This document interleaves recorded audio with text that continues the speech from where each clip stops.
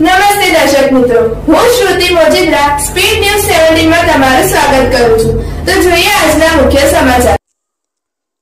Surat crime branch પોલીસે mobile ફોનની ચોરી કરનાર ત્રણ આરોપીઓની ધરપકડ કરી છે. બીઆરટીએસ બસ તથા રેલવેમાં ચડતી વખતે ભીડભાડનો લાભ લઈ લોકોના મોબાઈલ ફોનની ચોરી કરતા હતા. બાદમાં ચોરીના મોબાઈલ ફોન સસ્તા ભાવે વેચી દેતા હતા.